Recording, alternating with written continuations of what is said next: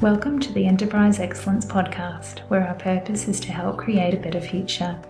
Learn from our world's experts how to improve your organization sustainably. Learn how to achieve and sustain an excellence journey for yourself, others, and the planet. And I'm your host, Brad Jeavons, coming to you from Brisbane, Australia. We are proudly brought to you in association with SA Partners, a world leading business transformation consultancy. SA Partners are a truly purposeful company focused on helping organisations achieve sustainable improvement for themselves, others, and the planet. Welcome to episode 60 of the Enterprise Excellence Podcast. It is such a pleasure to have Mr. Mike Hoseus on the show with us today. Mike is the co-author of Toyota Culture with Jeff, Dr. Jeff Liker. Mike has dedicated his career to helping organisations create cultures of continuous improvement, creating systems of willing and able problem solvers at all levels of the organisation. Let's get into the episode. Mike, thank you so much for joining us today. Fantastic. Thank you for having me, Brad, and uh, thank you, audience, for joining. Yeah, appreciate it, Mike. Mike, what's what's your backstory, Mike? Like, what got you involved in this field of, you know, creating cultures and continuous improvement, problem solvers at all levels? My backstory goes back a few years here. I'm getting gray, but um, you know, I, I, I, got onto it by happenstance. Really, I so I'll tell the story quickly, but it is, a, I think, an interesting one. I worked for Toys R Us um, selling toys, managing a toy store out of college. My wife was transferred. She was actually my fiance at the time. Was transferred to Lexington, Kentucky, uh, managing a residence inn. And the Japanese who were starting up the new Toyota plant in Georgetown, Kentucky, were staying at her residence inn, and uh, they said, "Hey, have your uh, fiance put in his application," meaning me. And I, she came told me that one weekend back up in Cincinnati. I'm like, that's a dumb idea. You know, I don't know anything about cars. Know nothing about manufacturing. I don't even think I've ever been in a plant. So, uh, you know, skip that.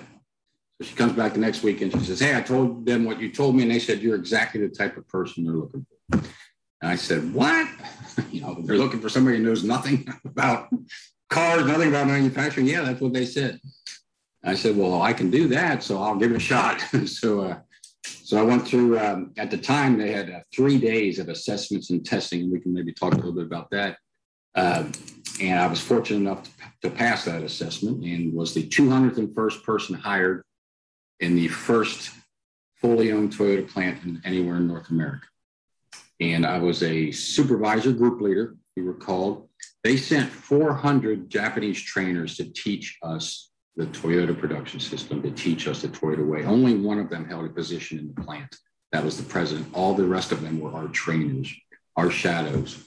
And, and every group leader and above had a shadow. And, and so I was a group leader, so I had one. Um, and so as a group leader, I'm on the assembly line, you know, working for uh, 20 team members, operators, we call them team members, and four team leaders.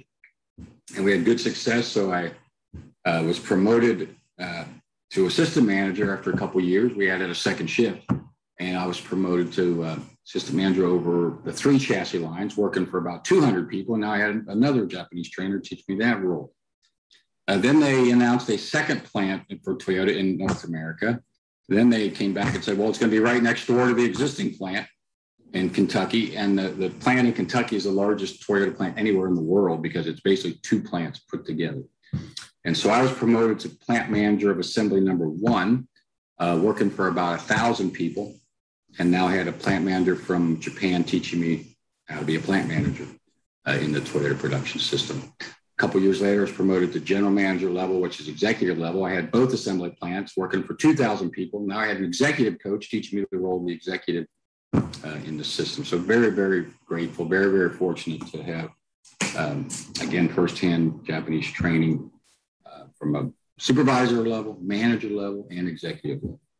Um, now, from there, Toyota does, uh, you know, who does HR development, leadership development, and part of the strategy is to rotate people, whether you're an operator or a supervisor, manager, rotate horizontally as well as growing vertically.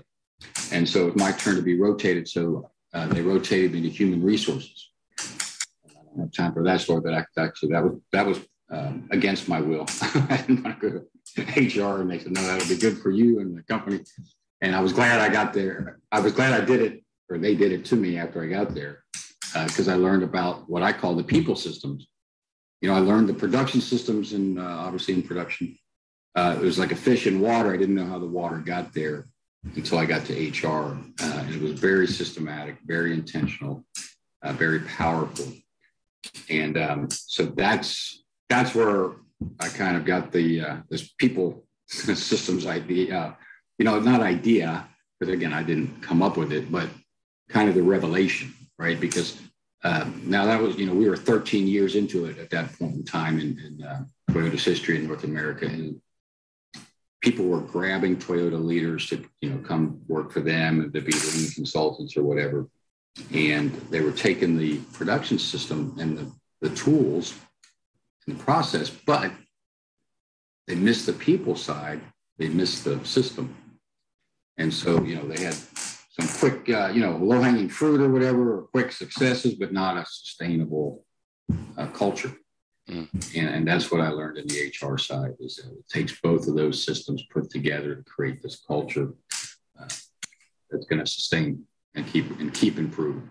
So that's a quick, I hope quick, quick enough backstory of uh, of how I got um, my experience at Toyota. Now I left the company to do some mission work, and that, uh, the Toyota supported me on that. Um, they had an HR problem they wanted to, to, work on. So when I came back to the Kentucky after a couple years away, um, their hiring system was rejecting 96 out of 100 people. Wow. 96 out of 100 people, whether it was a high school graduate, a college graduate, or coming from the workforce. And they were failing in the same two categories, which were the two core competencies of, of the Toyota way of problem solving and teamwork. Mm.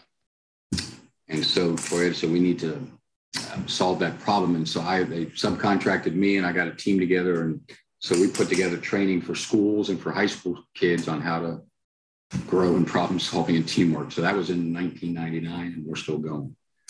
Uh, so, but throughout that process, I met Dr. Jeffrey Liker, who with Toyota Way, of course, and I told him basically the same story. And he said, "Oh my goodness, we need to write a book about that. We need yeah. to write a book about that people side, right?" And um, said, there are plenty of books out there on the on the technical side. So we we wrote Toyota Culture, and I'm very thankful to Dr. Liker. I, I told him at the time, like, I don't know anything about writing a book. I'm a production guy. He said, uh, "You give me the stories, information, I'll uh, I'll." And he did. I mean, he wove it together beautifully, added his stuff, and um, so we got, I think, a real a, a helpful book. I've been told that anyway. And um, and that book also has given me opportunity to travel around the world and meet lots of industries, lots of organizations, because this leadership, people, culture topic spans any organization, right? Which I believe Lean does as well, the technical side, but sometimes people have a little more trouble seeing how that fits. But everybody sees how the culture, people side fits, and uh, so that's what I've that's what I've been doing. So I get it. I appreciate having the chance to, to talk to your audience. Yeah, Mike, that's that's amazing. And Mike, I heard through that tale too. You know, the breadth of experience you got. You know, going from the right at the front line of the plant all the way through the leadership levels, experiencing that really high level coaching. You know, you were you were helped the whole way through, but then also yes. being able to immerse yourself in the culture side of Toyota through the HR side, right, and then take it right. further where you're looking at culture on school children coming through the local schools like yeah. that's that's an amazing system of Toyota, but it's also an amazing journey that you have to get such a breadth of knowledge. Yeah, and you you hit the key there with you know that's that's the Toyota thinking, the long term mutual prosperity, the long term thinking of hey, let's solve this problem back you know with school kids, and so that, that is cool because because sometimes you know because we had the, you know the Japanese set up these standards for our hiring system, you know that you had to demonstrate so much competency in problem solving teamwork. And we had trouble hiring, like I mentioned, you know, and so the, you know, early on the Americans, you know, want well, let's, let's open the window, right? Let's, let's, let's loosen the standards. And, and the, of course the Japanese are like, no, no good. That's not the way we do things, you know? And uh, so they said, you know, so work on the pipeline, you know, not opening the standard, the window.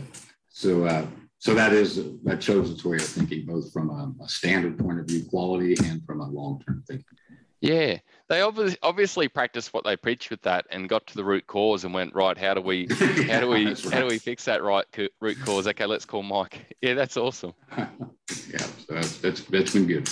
Yeah, especially when you've got that targeted market, don't you, around Kentucky? Like, you know, you're you're running this plant and you can skill up the kids in that local area. It's amazing, especially on techniques like root cause, and they, they, they will help the children and the kids no matter where they go. And, and, and it's right. We call it life skills, you know. Yeah. So you're right. And whether it's the communication and, and teamwork and or the problem solving, both are going to help them wherever they go. Yeah. Whatever they do. Sure. Hey, Mike, Mike, who are some people that really inspired you through that journey? Are there one or two that really stand oh, out? Oh my goodness, it, it was those. It was those Japanese coaches, like you mentioned. Um, now let me clarify because this is a misnomer a lot of times in my teaching and stuff. It's like well, no wonder Toyota does so well. They got all these Japanese. It's like, well, no, no, the Japanese aren't there anymore. you know, so it was a, it was a, a, a train the trainer, a coach the coach system, right? So they started with 400. You know, then after three five years, it was probably 200, and then there was one for every assistant manager and above. Now, my, now again, fortunately, in my journey, I was then assistant manager, so I still had one for me and my 200 people instead of one for every 20. But that makes sense. Uh, a couple years later, you know, they make it 100, one for every manager above. Well, now I'm a manager, so I still have one for me and my thousand people, but he's, he's my coach, right? And so, so I was fortunate. But my, the point was, is it was a, redu- a reducing thing while our skills were coming up because the Toyota system, again, from the people culture, is it's leader as coach, leader as coach. So so from the team member operator, it's everybody's a problem solver. From the leader, it's leader as coach. And so those two simple phrases are simple but not easy. Uh, yeah. But but that, those are critical components. So so those Japanese coaches who were coaching me to coach uh, were, were fantastic. And, and so they, I mean, there's no doubt I owe, everything to them as far as my understanding. And, you know, I, I, was, I was telling you earlier, I, you know, I was at a conference yesterday and telling some of the old stories. And um, and they would used to say Mike-san no good, and um, and it's back to that standard that we talked about there earlier with the hiring system. So there was you know so it's big on on problem solving, plan, do, check, act, setting the standard, right? So no standard, no problem, and that goes for the car, that goes for the equipment, that goes for people's behavior. So that's where I really work with folks in organizations on culture. So if we can define, hey, what should be happening? What's the standard way to behave here? Then I can coach your behaviors if they're okay or no good. Because same thing if we had a color match on a bumper in a car, whatever, we have the samples and it's okay or no good. So if you're behaving as a member or a supervisor or a manager, I've got a set of behaviors and I can compare to you saying okay or no good. So I, I tell them the ones I remember, right, are the ones was no good Mike-san, right? was my, my thinking or my behavior was not according to the standards. And, uh, you know, Art Niimi. So Art Niimi was one that, I, that, that, to answer your specific question, he was the original um, assembly coordinator.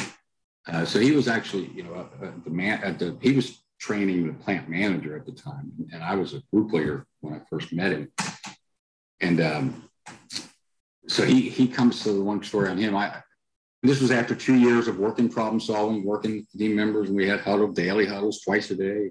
You know, quality circles with the operators, suggestion system.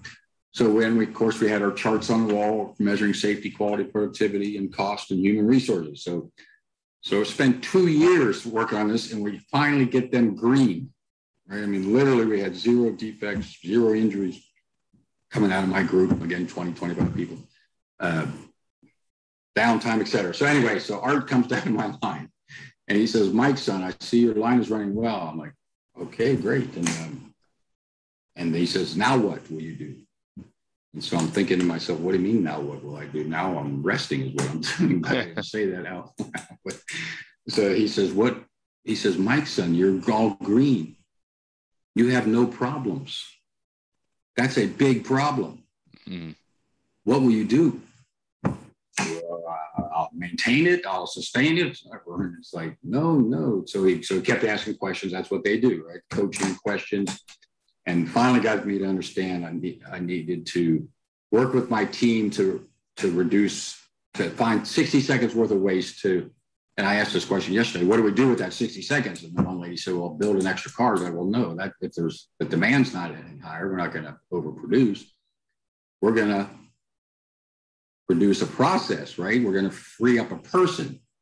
I asked him, what will you do with that person? And the one person, the one guy said, let them go. And that's no good. that's not the Toyota way. All right you know, I've, I've heard bad jokes on, you know, lean means less employees are needed or something, you know. Mm. So, so Toyota was about the respect, right? Remember the CI and the respect is the Toyota way. So, um, so no, that person gets redeployed, hopefully gets a new opportunity, promotion, whatever. Uh, so we go down to 19. So then I ask them, you know, so what now how do you think my green charts are looking after I change? We have to change 20 jobs to 19. We have to train everybody on four new jobs. And it starts getting yellow and red. Right? Yeah. So life is good again. We've got problems. And uh, so that was like my thinking was like, I can't understand this. I was, you know, I thought my job was to make these charts green, stabilize my group, and I'd be done. You know, I could coast for a while. And and Art Niimi says to me, Mike, son, your job here, and he holds up his bicep. Your job here is to make an army of problem solvers. Your team member, team member must be strong problem solver. That's your job. And so, yeah, that's what I took that to heart. So that was a made a big impact on me. Again, I was about two years into it. Now, Art Niimi, when we had that conversation, we were 1,500 people, all first shift in Kentucky. Uh, he came back, you know, they could say five years with the Patriot, Patriot and all that. So he comes back 15 years later, 20, I don't know. And there's 40,000 Toyota team members in North America. He's president of North America. Mm.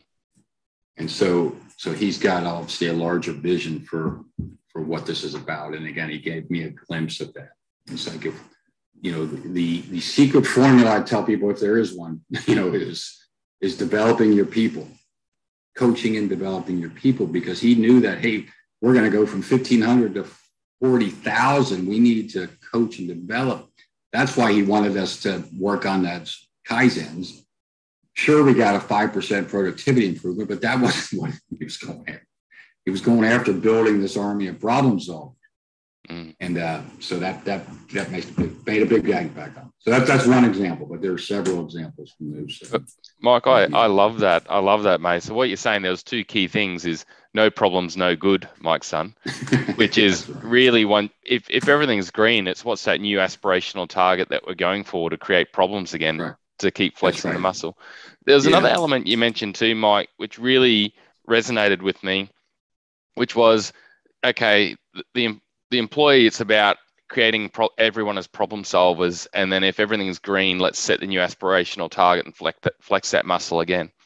But then yeah, you mentioned yeah. something that was really struck home to me is that the leader's job's to coach. But to be able to coach, you need a standard, a behavioral standard that you can coach to. Otherwise, you're telling people how to suck eggs in a way, aren't you? But, yeah, yeah, but. But Mike, what what does that behavioral standard look like? Have you seen some good ones? Can you describe it? Because I think, I mean, a lot of companies where they struggle with that, they're like, Brad, a behavioral standard or Brad, behaviors like, what on earth are you talking about? You know, everyone's just used yeah. to seeing values on the wall. We got our values on the wall, you know? Yeah. Yeah. I hear you. That, so great question. And that's exactly, you know, the, everybody's seen the Toyota way, not everybody, but most people have seen the Toyota way house or whatever, right? Not the Toyota production system house now we don't want to forget that one uh, because that, that helps on the technical side and the problem solving because it's important to have a standard on that side as well. So usually I say on the, you know, this true north, we need a standard on how we are to operate and how we are to behave. So we're kind of like operating with this operating system, like literally, and then the behaviors. And then the behavior, the problem solving kind of overlaps the two because the operating system is designed, right, to expose problems, uh, designed to, uh, you know, again, expose waste to show abnormalities so that we can then do the problem solving. So the problem solving is really what brings those two together. And so there's a standard on that as well, to your point, because you know uh, uh, uh, much of the coaching at Toyota, and they had you know, and they had a big well, OJ, on the job development. OJD was again us teaching the problem solving to people. So that really was a, a core part. Now, wrapped around that is the respect and trust side. And then, so to your point, we have to take those posters on the wall and bring them to life. And that's an exercise that, that you need to do for your company. That's what they had us do with the Toyota Way. We had the, the poster or whatever, right? The house. And then we were meant to then take it and say, okay, what does this mean to us? And so, as a group leader, what kind of behaviors were we talking about? And literally everybody agreed to the standard, almost like we're doing the standard work, right? Because the standard work doesn't come down from the engineer at Toyota. You know, the op, the uh, technical sheet comes down. I'm getting too deep, I think, but you know, they're because when I ask for standard work in organizations, they usually hand me a technical instruction sheet or an engineering instruction sheet. And um, and we had those at Toyota, but we had the operator standard work. So that was the operators developing the standard, right? Yeah, yeah. Because they're the experts. And then I'll ask, why do we want that? And people say, well, so you can get their buy-in. It's like, no, you do that because they know the job the best. and, yes, we'll get their buy-in, but you don't do it to get their buy-in. You do it because they know best. And uh, so, anyway, so I thought that was kind of interesting. And I you know that so the Toyota way, it's like, hey, we're making the standard too. It's not like here it's a top down boom. It's hey, no, develop your behavioral standards based on these principles and value, right? And that's what we did at the plant. Yeah, uh, and, and made it clear. Would that look like a list of behaviors that correlate back to that um, the Toyota way, the culture, the respect and trust, Mike? Would it be like the exercise we had? Yeah, that was what we did. You know, and, and you know, whether it was listening or I remember the one I tell people, you know, I'm somebody's uh, working on uh, working calls me over and says, oh, I got a problem. You know, I'm just newly promoted and wanting to show my my uh, worth or whatever. So I jump in, I solve the problem, right? And and the you know the trainer says no, you know, I'm happy. That the person's happy. The trainer says no good, Mike. like why no good? So because you didn't teach. You gave a fish, you didn't teach the fish. Our behavioral standard is teaching, not solving the problem for them. And so it's those types of things that, you know, because when you get down to that level, you you need to be clear, right? Because I'm thinking I'm being respectful, helping them with their problem. Yeah. But not by the Toyota way definition. Yeah. Being respectful. They're saying that's disrespect. You're telling that person that they're either not worth the time or they're not able. Yeah. To, to learn. So which one was it? I didn't tell them that. I didn't. yeah, that's neat. Go to enterpriseexcellencepodcast.com backslash downloads to download a diagram Mike will help me form, which outlines the link between an organisation's behavioural and operating systems, root cause problem solving, innovation, and improvement. Please like, subscribe, and share this podcast to help others gain insights and create a better future. Let's get back into the episode. I love it, Mike, and I love the I love the picture you've painted in my mind here with this too, because like in a way, it's no standard, no good because how can you coach if there's not a standard to coach to? Just like in football and cricket or, you know, whatever, there's a standard and there's what there's a playbook. But I love that yeah. there's a standard for culture. There's a, I don't know, I don't know, and right. please correct me if I'm using wrong language. People might know it as a team charter or a team guide or something that defines the behaviors of the team. That would mean they're living their their values. And then yeah. on the other side, you've got the operating system, which is this is a system of our excellent system for our organization. And and this is all those systematic elements that run, and then connecting it is root cause analysis, which Mike, I'm guessing whenever anything goes wrong on either side of those things, or no, not wrong, whenever anything is showing up as a impediment or a challenge, we do root cause. Is that correct? That's correct. And um, and and that's a that's a really a great question and insightful. And and that's what I you know I work hard on classes and workshops to get people to understand that. It's like this problem solving is not just on the technical like obviously it's on that one. It's also on this culture people side. So that's that's a beautiful thing. Yes yes. Yeah. Mike I I listened to a lot of your talks and you know I've been a big fan for a long time of the knowledge that you've shared. And I remember one talk you did with Peter Hines on the Enterprise Excellence Network, and you're talking about no standard, no problem. You know, I think it was another one you're referring to another one of your coaches where they said, Mike, if there's no standard, no problem. Mike, do you mind exploring that a little bit for our listeners? because yeah. when you're talking to me about those two standards and the root cause, it just rings bells for me because I've listened and read so much of your work before. But it might be interesting for our listeners to know that's the tale you tell around that no standard, no good type piece to really connect yeah. together. Yeah, I like your no standard, no problem. Um, that that's really the, the key learning. So you know, and again, I've learned from those Japanese coaches, and you know, whether I had a problem. You know, I remember the one guy saying.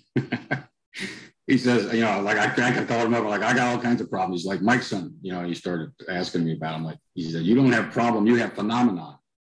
I'm like, what the heck you mean I have phenomenon? You know, that's what kind of translation is that? You know, we would not we would not use that term, you know. But um, and he's like, phenomenon is when there you have issues, but it's not a problem. And then and then I started seeing like he was actually right. Like I got this issue with this team member, this issue with this operator, this issue with this equipment, this issue with the supplier, customer, you know, on and on, part, piece, and supplier. And it's like, so what we were taught is when we have those issues or those phenomenon, because again, I know your listeners have lots of phenomenon as well. I've, been in, I've been in manufacturing and uh, or any organization for that matter. Uh, the first question we were taught to ask is, "What's our standard?" Now, now they soften that because sometimes people were uh, defensive on that or whatever. So another way they would ask, and I love, is, "What should be happening here?" Mm what should be happening. And, um, and over 50% of the time, the answer you'll get is, I, I don't have a clue. Right? Do yeah. have one? I don't know. We do it like this. They do it like this, whatever. So, so that's when they would say no standard, no problem. And then what do we do next? Now, some people say, well, ask why. It's like, no, that's exactly what we would do. And they would say, no good. It's like, why, why is a problem solving root cause analysis question? You know that you don't even have a problem. So why you asking why? You should be talking about what should the standard be. Yeah. Agree on a standard, and then come back and check current to identify your gap. Now you can work your uh, cause analysis. So, so that was the thinking. Yeah. And simple but not easy. But taking it back to the culture, I just thought of one. one and it was actually in Australia doing a talk, and I remember, you know, at break or lunch or whatever, somebody, a, a group runs up to me and in the hallway and says, This is great. We love this stuff on culture and leadership, but we're so we're sitting here loving it, but we're at the same time we're frustrated and discouraged. We got a guy back home. He he doesn't agree with lean. He wouldn't even come to this workshop. You know, what should we do with him? And uh, I'm like, uh, I was not trying to be you know, smart aleck. I'm like, is that a problem? And like, yes, it's a problem. It's a, uh, you know, he's uh, one of the fifth of our team, 20% of our leadership team, and we can't go anywhere without him. He's a big barrier. And I'm like, no, no, no, no. I, I'm sure it's an issue. right. What I was asking is that does your organization have a standard on how leaders are to behave? Oh, no, you're right. We don't and all we do is argue with each other about his way and our way and we just so we get nowhere because we just argue about each other's opinions. Oh, i would recommend you go back and have some discussion on what should be happening. How should leaders be behaving so that's the again simple but not easy. So please don't mistake or you listeners that that i'm trying to make it sound simple because that's how the japanese taught us. Uh, but that doesn't mean it's easy I could imagine. Oh, sorry, Mike. Mike, I could imagine. Like I'm visualizing, um, you know, I'm visualizing a leadership team where we've got we've defined our behaviors against our values or what how we want to behave, and we got that. And I can then see that it comes down to what do we do when the standard's not followed. Exactly, uh, and that's that's a beautiful, that's a great question. So and that's that's again whether you're on the, the technical side of the production system or the other side. I mean, I tell people my 5S story about a garbage can and taping that off and all that. You know, and again for them teaching plan, do, check, act. It's just stupid and silly I thought and waste of time I thought of taping off a garbage can and writing garbage can on Yeah. I came to learn that it was actually teaching plan, do, check, act. It was teaching make a standard. And then if there's a gap, correct it, right? And so the hard part was keeping the garbage can in the in the square, right? Mm. So the same way on the behaviors. But then I found the power of the standard. So so Brad, you're not following it, right? And so now I can sit down with you and say, we've got a we've got a problem. And here's the standard, and here's the feed, here's my observation, here's the feedback from your team, here's the feedback from the survey, whatever. We've got a problem. Your your behaviors are no good to the standard. They have to be addressed. Because you know, going not addressing them is not a not a not an option either. So do you want my help in addressing it? Do you want to close that gap? Do you want to mm-hmm. follow the standard? And I have had some people say no. I yep. really have. Um, not many, but there are some that's. I remember Jeffrey Liker, I think, interviewed the one guy up in Michigan, a, a big three person or something. And I, I remember the quote went something like, you know, they've trained me to be an attack dog, and now they're bringing in this kennel club. And I'm not, it doesn't jive. I'm not, I'm not joining the kennel club. Mm. Like, okay, great. Because uh, that's easy. The, the harder ones are ones like say, yeah, okay, I want to change, and then they don't, right? Yeah. yeah. So, but, but we'll work with them. We'll work with them and give the benefit of the doubt. Uh, you know, and I and I've got people coming to mind now. We'll work as long as you're working with me, I'll work with you to close that gap. Yeah. And, and, and 80, 90% of the people will get the gap closed. Um, maybe one out of 10 will go off in the beginning of the process. Uh, maybe one out of 10 will go off somewhere during the process. Or even at the end, we've also, if, you're really, really are respectful and trusting and, you know, and all that, and showing the values, we'll find another place for you in the plant or the organization where you don't have to coach people or something. Yeah. For those things. Uh, and that that's happened before as well. So so the, and that's part of that respect side right so yeah. just the way there's a there's a gap so there's not an option there's not an option not to address that gap because that would be disrespectful in toyota definition right? Mm. if i'm letting you go with no good behaviors i'm not just disrespecting the rest of the team i'm disrespecting you. Yeah. So it's yeah. respectful to, to to close the gap. Oh and mike how often do you see that especially with behavioral?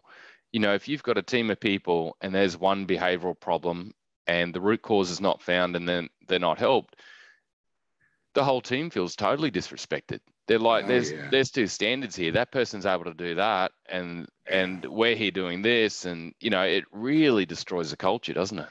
It does, and and unfortunately, see it all too often. So yeah, so we gotta we gotta work on that one. We can improve yeah. on that. Yeah.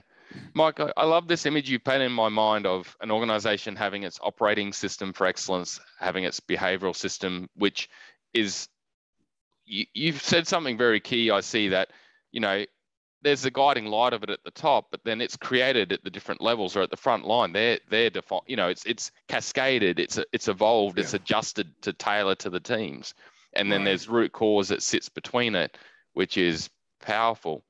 Mike, what do you find most stops organizations heading down the path of this? Like, what do you what do you feel is the barriers that stops organizations looking at this, working on this, throwing the energy at it to make their life better and others better? Yeah, that's uh, unfortunately I don't, that question doesn't excite me as much because no. but it's, it's real and there's unfortunately lots of barriers. Oh man, uh, I can sum up probably a, a, few on the list with leadership. With leadership. So if, if we don't have top leadership on board, you know, the culture is not going to change. We'll, we'll play around with the tools, we'll play around with, you know, again, some of those processes, but there's no culture change. Uh, there's no sustaining culture change with, without the leaders. Mm. And, and, that's a big barrier. A lot of the leaders, they don't see that as their role. Um, you know, they'll hire a lean team and say, you know, I'm supporting lean because I hired ever many people. And it's like, we're great. We're glad you hired the people. But again, that's just that misunderstanding, again, which is a because the, you know, whose role is it to do lean? Not the lean team. The lean team should be coaching and teaching everybody, right? Mm-hmm. Uh, so if you want to use that lean team as the coaches, like our Japanese coaches, great but we have to agree on what's the end game. Right? The end game is everybody is a problem solver, including the executives. yeah. And that's a barrier lots of times. uh, you know, short-term thinking, you know, lean is cost cutting. And and I was and I just again get getting the bass backwards or whatever, right? So it's you know, the the cost cutting is going to come as a result of doing the things we're talking about. Yeah. Costs costs will be reduced. Um, if we go in there with cost reduction as the game plan, then there's going to be disrespectful stuff. Yeah. So so that's a barrier. Uh, you know, again, people playing in that that technical space and not opening it up to the leadership and the people space is a big barrier. Uh, you know, HR. I, I, you know, it, it played out my story because I've, I've said dozens of times in my my workshops. It's like I'll go to a workshop with a couple hundred people, and I'll ask, you know, how many from HR in here? I did it yesterday. There was only 175. And I usually say there's a lady in the back who raises her hand, and there was a lady in the very back row yesterday who raised her hand. I said, "Thank you for coming."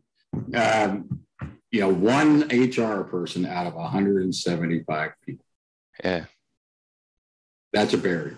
Yeah. And when I ask, when I either I ask the operations people or I ask the HR people, like, you know, where are you? they're like, what's HR got to do with lean? And so that tells me they're on the technical Kanban, value stream map, all which is good. I say it's it's it's it's not incorrect, but it's incomplete. Yeah. And so big barrier. It'd be I know um, Peter Hines is doing a lot of work at the moment on that with Cheryl Jekiel, trying to do more work on connecting HR into the lean side too. Yeah. I think yeah. that'll that'll help. Hopefully, they're doing all sorts of things. Yeah, I liked how you said it, connecting HR to lean, not putting lean in HR. That's another barrier. Okay, well, we'll bring lean up into HR. I'm like, oh, that's great, but but I'm not talking about how to, you know, lean out your process. I'm talking No. about what's HR's role with that. I know, especially Mike, when you when you and I are talking about a mm. behavioral system, mm. you know, we need a behavioral system. That's that's connecting HR in, you know. exactly, exactly. Yeah. I know they can get so caught in that. I've I've seen a lot of HR teams where they're in a environment where the company's not running well. They don't have their operating standard. They don't have their behavioral standard. They're not doing root cause, and HR is just bogged down with industrial relations situations. You know, they're just yeah, right. Yeah, firefighting. living like in we a are over. yeah. But let me let me remember. You just reminded me, and I meant to say it when you asked about you know the uh, what do you do when someone's not following the behavior standard, and we said address it. Uh, but really, what we got to do is prevent it. Um, so so that's where the HR systems come in, and that, this is where I talk about in the book. Like this is this is so key, and this was my aha when I went up to HR. Like this is how you do it. So by making those behavioral standards and those competencies, now we integrate those into the HR system. So that's how we hire people. So if you're not able to demonstrate those behaviors or you know demonstrate them and have your past employers verify that you demonstrate those, you're not getting hired. Mm. That's how we get the four out of a hundred, right? And uh, and then if and you're not going to get promoted. So so the team leader promotion system, group leader promotion system is checking your ability to demonstrate those behaviors, both from the problem solving root cause and the people the coaching respect. I'm going to again evaluate you and coach you. I'm sorry, evaluate and coach and compensate and reward, all based on those behavioral standards and hmm. technical standards. So, so when we can work that system, now we're getting a sustainable culture. Right now, I can I can lead, and I, the culture doesn't leave with me because the system's built. Yeah, that's neat. It's neat. I loved how you added in there too, Mike, the um, behavioural and the competence standard, because you know, being clear, I- you, you do meet a lot of organisations where they don't have a competence standard and they don't have a proper onboarding approach and a development approach and a cross training approach and all those. So it's very yeah, that's the other part of that human standard, isn't it? It's that Yeah, those are the behavioural and systems. competence. Yeah, that's neat. Yeah, yeah. Mike, our conversations really stood out from any other conversations I've had. Just that that simple picture you've painted in my mind of those two circles and the connecting two areas and the connecting with root cause. But Mike, what would be a two minute tip you would give to someone, a leader, one of these busy leaders or busy employees, on what to focus on first when you're looking to take a journey down this path, what would be that two minute tip you would give them? Yeah, it's kind of summarizing what we've talked about. You know, having having a problem solving standard. I asked that yesterday, and probably not not even half the hands went up. In that group of 175, I said, "How many of your companies had a problem solving standard?" So how are we going to coach problem solving? to your point earlier, we're not having a problem solving standard. So let's make a problem solving standard, and then let's and then let's coach it. Mm-hmm. Um, I got some a minute left, so, then, so we're gonna. So now what Toyota does there is puts together what they call the FMDS or Floor Management Development System. So we got our problem solving standard. Now throughout the day, we're going to have huddles. We're going to have our scoreboard, and we're going to identify gaps right from our goal to actual. And now we're going to identify problems. We're going to prioritize them, and we're going to assign them to people so we can start practicing the kata. Like Mike Rother about practicing the problem mm. solving. Mm. And, and we can do that at every layer. Everybody in the organization should be standing in front of a scoreboard once a day, or now we can do it virtually with Zoom, whatever, and, and identifying and working on a problem. I had another Japanese story where the guy ends and says, Solve one problem today. Mike said, I'm running around firefighting. He says, well, I know you got lots of fires, but while you're writing the fires, solve one problem. Mm. Pick one and solve one. So if we can get my thousand people in assembly doing the same thing, now I'm making progress. Yeah, that's neat, Mike. Thank you so much. And Mike, for yourself, what's been something you've learned recently that you didn't know before? Like, what's been a recent insight for you? Uh, well, this technology has been uh, insightful, and um, you know the whole Zoom thing. Because even before COVID, you know, I was getting questions on, you know, so on the scoreboards and things, you know, so what's electronic, what's paper, and and I always, you know, and some some old school people say like, well, the Japanese only wanted paper and stuff, and it's like, no, the Japanese wanted problem solving.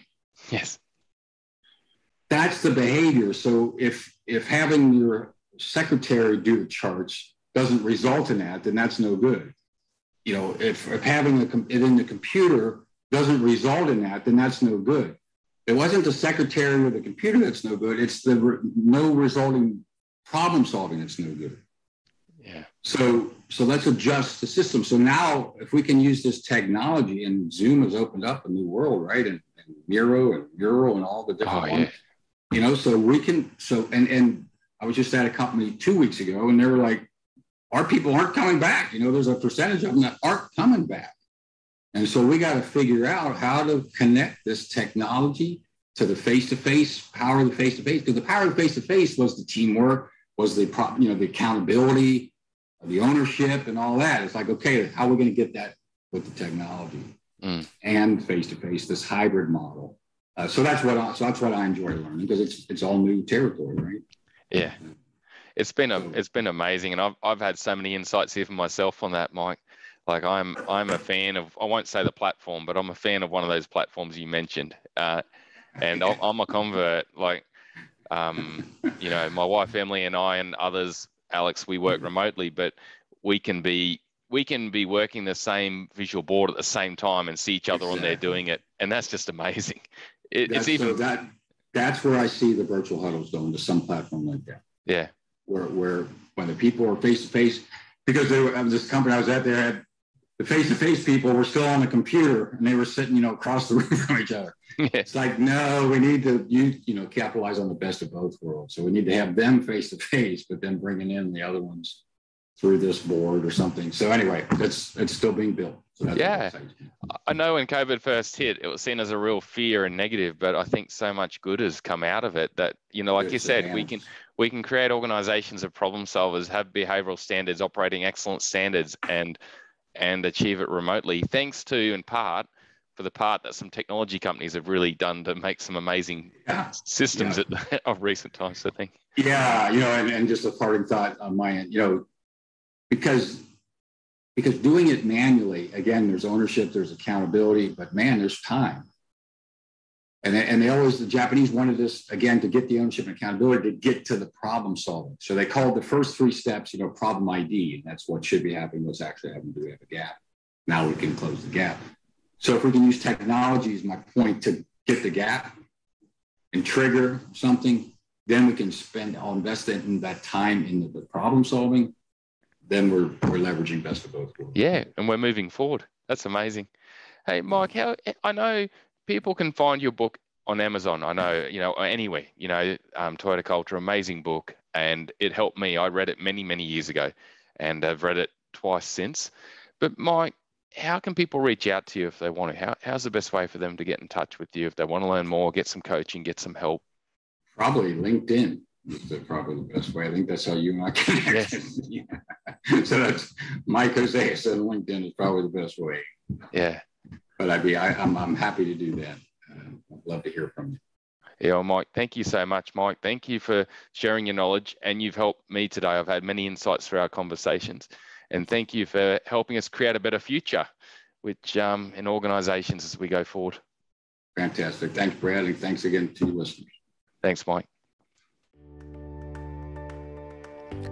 What a great episode. Remember, you can go to our website, enterpriseexcellencepodcast.com backslash downloads to get hold of a diagram Michael helped me form, which outlines the link between an organization's behavioral and operating systems, root cause problem solving, innovation, and improvement. Please like, subscribe, and share this podcast to help others gain insights and create a better future. There were three key takeaways for me from this episode. One, cascading and helping teams at all levels form their operating and behavioural systems and competencies. 2. Everyone as problem solvers, leaders as coaches. 3. All green no good, adjust to create more challenges. The first key takeaway, cascading the operating and behavioural system to enable the formation of a standard at all levels that teams own was amazing. Visualizing these two systems connected by root cause problem solving was a real insight for me. No standard, no problem, creating this standard in an empowered, connected way at all levels of the organisation creates the owned standard of culture and operating systems. This approach can be aligned similarly to an organisation that is following a more agile, lean, or Six Sigma approach, a financial, manufacturing, sales, or service organisation. It doesn't matter. The second key takeaway for me is everyone is a problem solver, leaders as coaches, is about creating an organisation of problem solvers who are being developed and improved themselves towards their potential always. What better way to form a learning organisation of people who are growing and developing, improving and achieving great things always? Again, like mentioned, there is a standard for problem solving and coaching that can be supported and improved. The third key takeaway, all green, no good, is a great insight. Often in business, we chase the green, get there, and then relax. The problem is that when we relax, we start getting red all over again. We spend our life bouncing up to that green level and away again. Mike's discussion around all green, no good highlights that when we achieve our meaningful, challenging, or and aspirational goals, it is time for us to set new ones, creating new challenges and problems to improve and overcome towards that new goal. This is at the heart of creating a continuously improving culture. Thanks again for the great episode and all the insights, Mike. Thanks for helping us create a better future. Bye for now.